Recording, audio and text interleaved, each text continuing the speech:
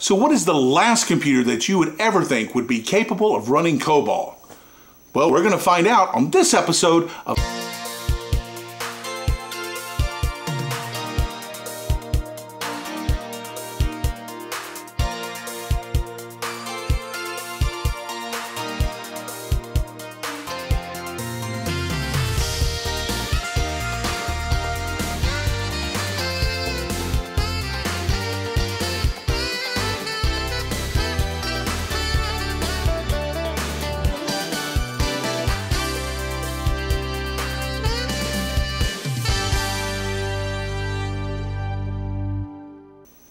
Hi gang, how the heck are you doing? John Lotshaw, Crackpot Computing here, and welcome to episode 5 of Retro Coding's Adventures in COBOL.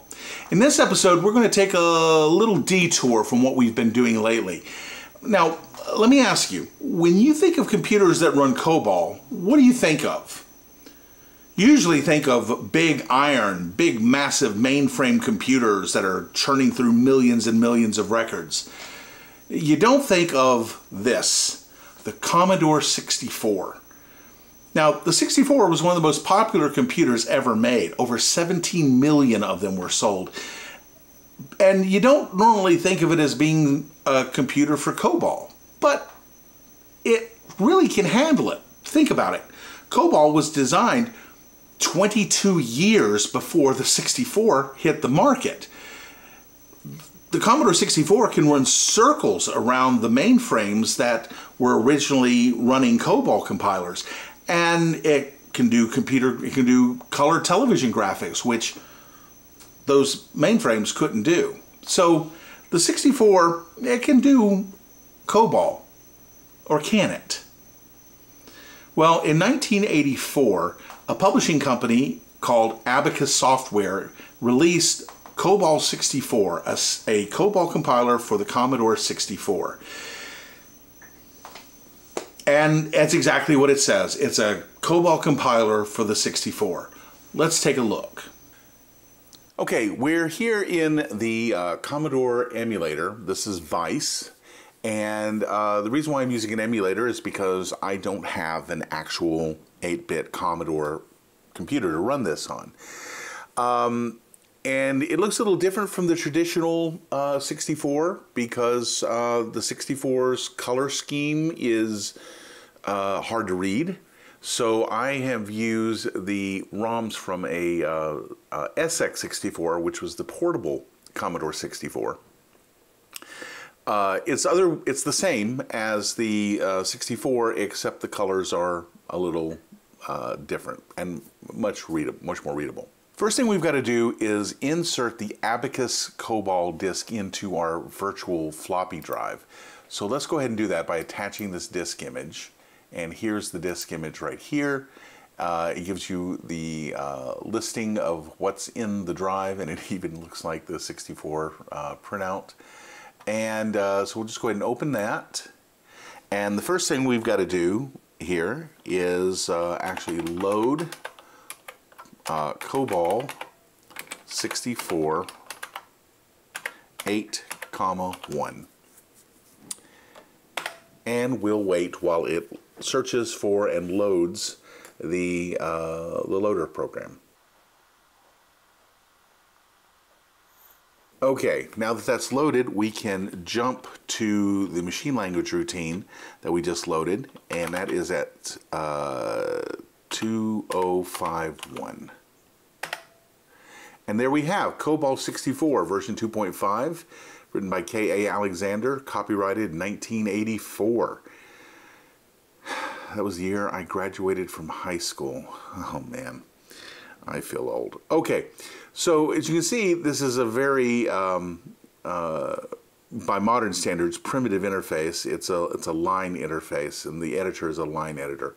So first thing we need to do is we need to create a new program. So we'll do six here in this menu and it'll ask us for our new program name and we'll tell it hello because we're going to do hello world. And now it's loading the editor And that took about 30 seconds to load the editor. Okay, so now we're in the editor. This editor is a line editor. It is not a full screen editor like what we're used to or even what the basic on the Commodore 64 had. Uh, but let's uh, start by putting in a command here to uh, um, automatically number our lines because this is COBOL 74 and it is um, going to require us to use the line numbers and um, be much more strict about formatting than we have been previously with the freeform formatting that GNU COBOL allows us to do. So uh, it it uh, very helpfully gives us a little dot over there to tell us where the beginning of area B is. But the first thing we need to do is we need to come over and put in our identification division. And remember this space right here, the first six numbers are for the um, line number. Space 7 is for the comment, or, or they call the identifier area, or the indicator area. And now here we can do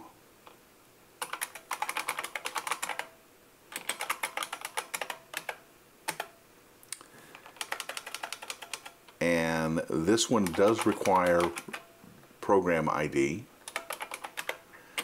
and it the compiler actually requires you to put C64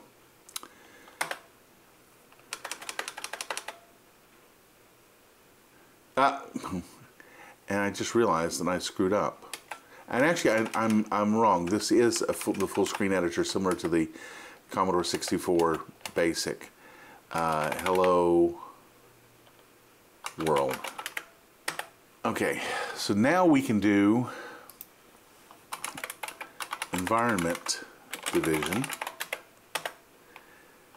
And here we'll do our configuration section. And this one does require uh, source computer C64 and object computer C64. Now this I believe, uh, we'll test this in a moment. I believe it was going to require us to put a data division here, but let's we'll test that in a moment. Procedure division now we can use this little dot, which is the beginning of the B area, to put in our, uh, our code. So let's display hello world. And then stop run.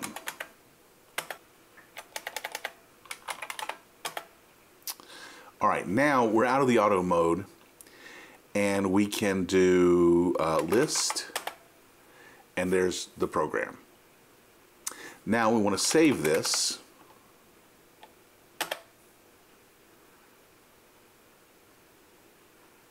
And it's saving it out to disk.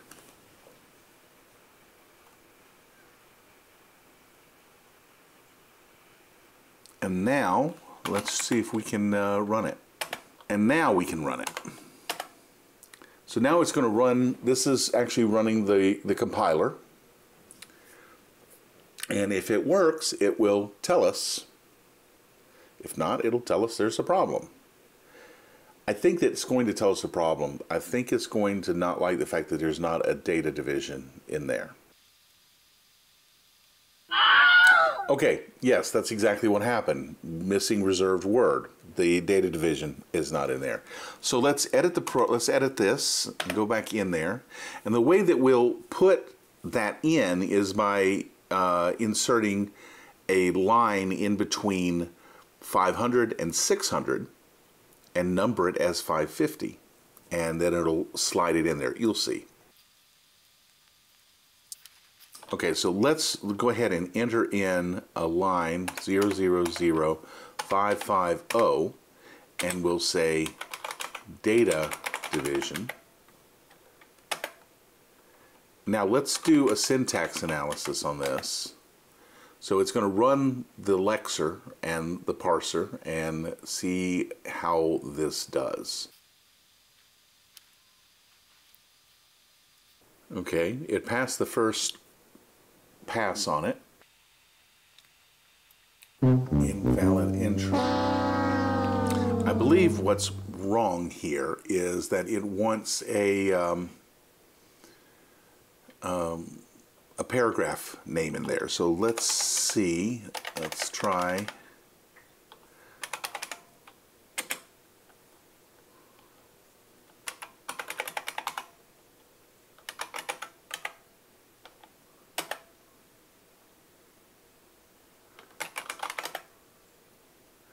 And let's change 800 to end prod.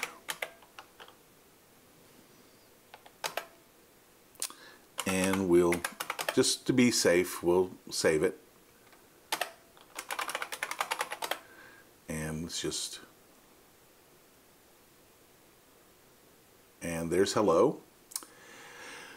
Okay, let's uh, let's let's run that syntax analysis again. So let's do list.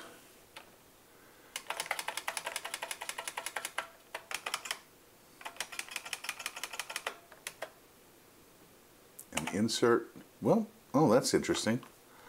Uh, the insert key on my keyboard turns into um, a period or, or, or a backspace key. Uh, interesting.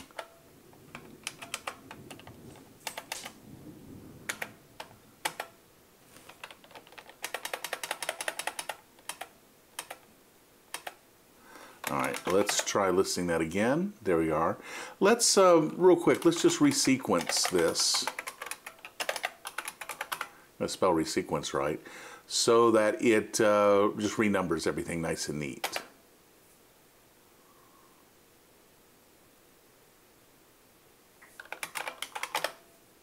There we go. All right, let's uh, let's let's run that syntax again.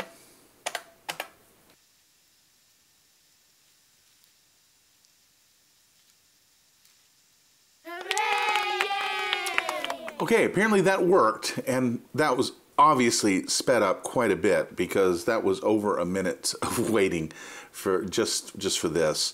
So let's uh, let's save this and actually run it. And we'll exit back to the main menu and run it. So now it's going to run the compiler again